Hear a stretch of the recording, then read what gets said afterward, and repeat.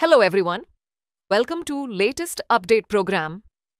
The topic of discussion is rise in rare brain-eating amoeba cases. This topic relates to science and technology section of the UPSC CSE syllabus. Let's see why this is in news.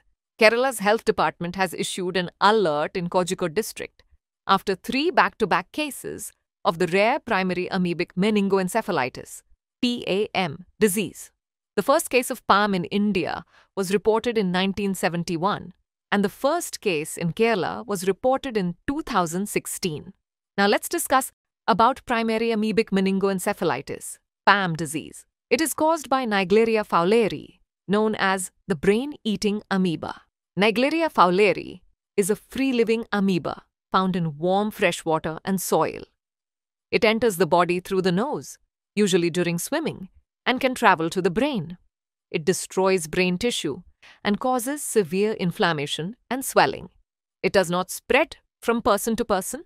Its treatment includes a combination of drugs. Example, miltefosine. Even with treatment, the chances of surviving Naegleria fowleri infection remain low, with a recorded death rate of 97%. Now it's time to do a practice question.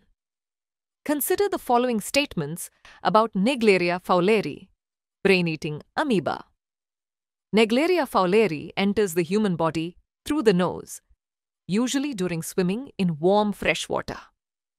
The infection caused by Naegleria fowleri can spread from one person to another through direct contact.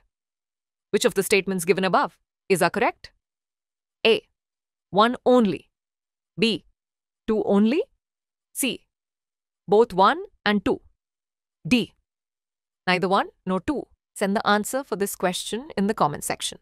Thanks for watching.